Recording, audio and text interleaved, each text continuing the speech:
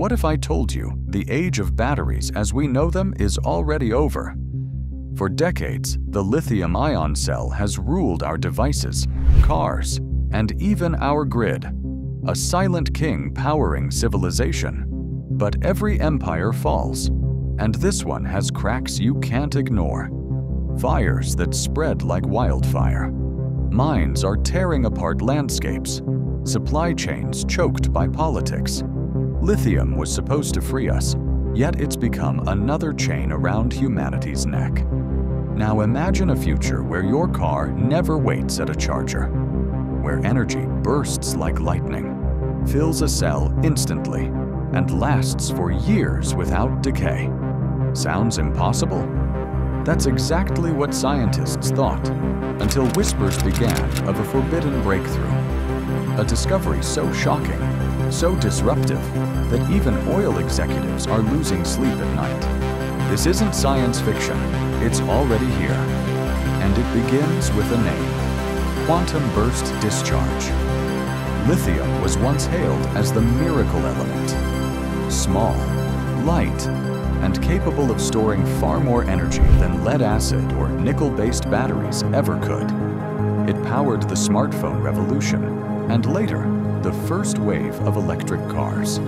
Without it, Tesla wouldn't exist, nor would the dream of breaking oil's grip. But every miracle has a curse. Lithium is scarce, its mining is toxic, and its refinement is energy hungry prices swing wildly, leaving automakers exposed to markets they can't control. Worse, lithium batteries degrade. A brand new EV slowly loses range year after year until its once glorious promise shrinks. And when they burn, they burn with a fury almost impossible to stop. For years, debates raged. Should humanity double down on lithium or gamble on alternatives? solid state, hydrogen, supercapacitors, each promised salvation, yet fell short. The world waited, and then something truly alien emerged. It began quietly, buried in obscure physics journals. A new way of storing and releasing energy, not through slow chemical reactions like lithium, but through the controlled collapse of quantum states. Researchers called it quantum burst discharge, a name that barely captures the violence and elegance inside. Instead of shuttling ions back and forth, QBD traps energy in a lattice of exotic materials. When triggered, those bonds release their charge in an instant, not minutes, not seconds, but microseconds. Imagine plugging in a car and watching the battery leap from empty to full before you've even turned around. Early tests were dismissed as fantasy, but the prototypes kept proving themselves.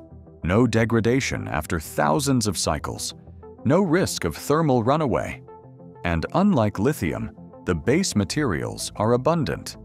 Aluminum, carbon composites, and engineered polymers that anyone can produce.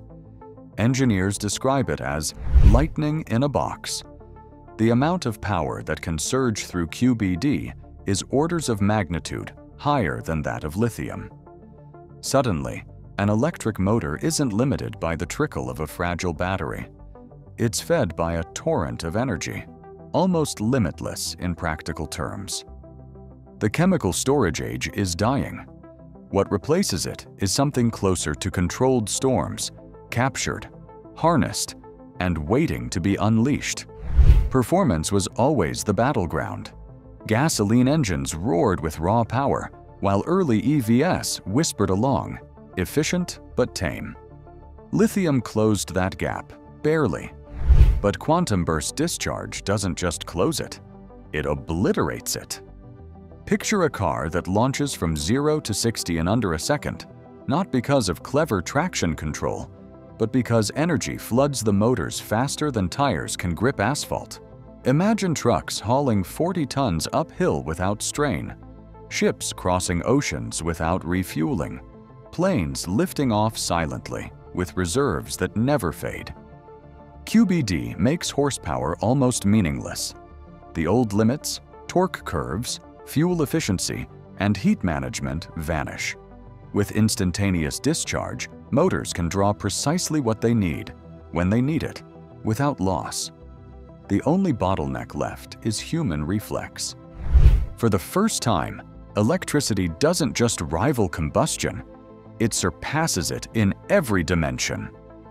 And that's where Tesla enters the story, quietly preparing a project that could flip the auto world on its head. Tesla knew the whispers. Rumors of QBD were spreading through labs, think tanks, and defense contractors. But while others debated, Tesla acted. Inside gigafactories, a project took shape under the code name Redwood. At its heart was the long-awaited Model 2, a car meant to be cheap enough for the masses, but with something far more explosive hidden beneath its floor. Insiders claim Redwood isn't just another EV. It's the first production vehicle designed around quantum burst discharge. No more lithium packs stacked like fragile bricks. Instead, a slim, flexible energy slab is woven into the chassis itself. It charges instantly, never fades, and delivers more range than any gas tank. Why redwood? Because just like the towering trees, it's built to last for centuries, a symbol of permanence. Elon's promise of a $25,000 Tesla suddenly makes sense. With QBD, cost plummets, performance skyrockets, and barriers that once defined the EV market simply vanish. And if Redwood succeeds, it won't just sell cars. It will rewrite the global energy map. For over a century, energy was power, literally and politically. Oil-rich nations rose to dominance. Wars were fought, empires bankrolled, and economies bent to the rhythm of black crude. Even lithium began following the same path, concentrated in a handful of regions, vulnerable to price shocks and political games. Quantum burst discharge flips the table. Its core ingredients aren't locked in deserts or mountains guarded by unstable governments. They're everywhere. Aluminum in the soil beneath our feet, carbon harvested from the air, polymers crafted in standard factories. Suddenly, energy is scarce. It's universal. That means older players lose leverage. OPEC's grip weakens. Lithium giants face collapse Entire economies built on exporting fossil fuels or rare minerals will scramble for survival.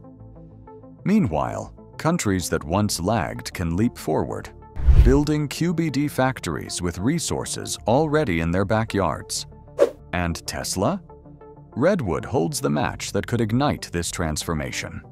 By delivering a mass-market car cheaper than any lithium competitor, it forces the world's automakers into a corner compete on QBD, or die trying. What happens when energy abundance isn't just possible, but inevitable? We're about to find out. And the shockwaves won't stop at cars. They'll ripple through every machine, every industry, every government. The global chessboard is being flipped, and no one knows who wins. If there's one fear that killed the EV dream again and again, it was charging. Long waits at roadside stations, broken chargers, anxiety creeping in as the battery bar fell lower and lower. People wanted freedom, not a ticking countdown. Quantum burst discharge vaporizes that fear. Forget waiting half an hour for a fast charge. QBD doesn't trickle electrons, it unleashes them in a storm. Full power delivered in a flash, for drivers, that means pulling over, plugging in, and leaving almost immediately, as if they'd just filled a gas tank. Even better, QBD cells don't degrade with rapid charging. What kills lithium only makes QBD laugh. Endless cycles, endless bursts, with no drop in range. Suddenly, the infrastructure problem looks different. Instead of vast networks of chargers, a handful of ultra-high output stations can handle millions of cars without strain. The myth is dead. The barrier is gone.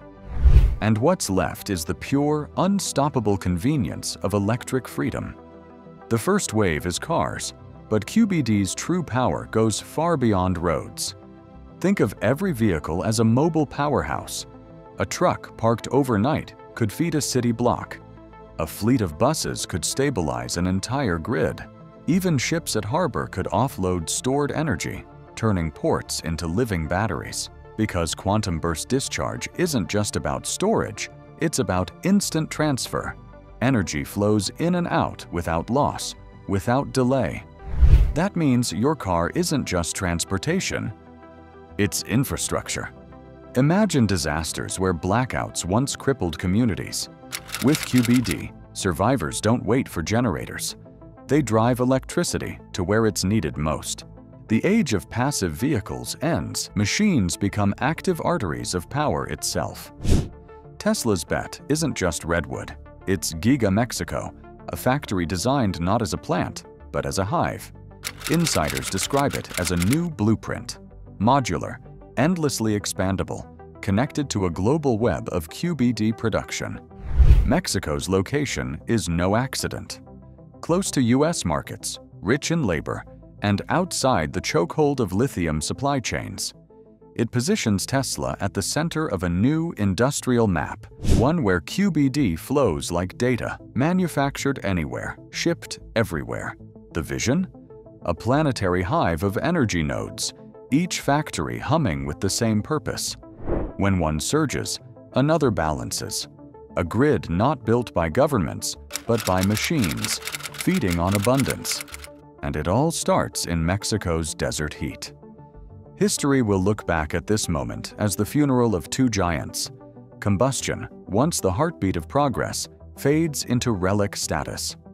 Lithium, the so-called bridge to the future, becomes obsolete before it ever fully rules. Both toppled by a force that seemed to come from nowhere. Quantum burst discharge. What happens when gas stations close not from regulation, but irrelevance? When lithium mines shut down because no one buys their product? The energy order doesn't just shift, it collapses. And the sound of that collapse will echo across industries, across nations, across time itself. Humanity doesn't crawl toward the future anymore. With QBD, it leaps. The combustion age ends not with a roar, but with silence. So here we stand, staring at the horizon of a world we barely recognize. The machines that carried us through the industrial age are dying, replaced by something stranger, sharper, faster, Quantum burst discharge is no longer a rumor. It's the spark of a new epoch. But here's the haunting question. What happens when power itself becomes limitless? When energy is no longer bound by scarcity, but only by imagination? Every empire, every invention, every war in history was shaped by energy. Now, humanity holds lightning in its hands. The only mystery left is, what will we do with it?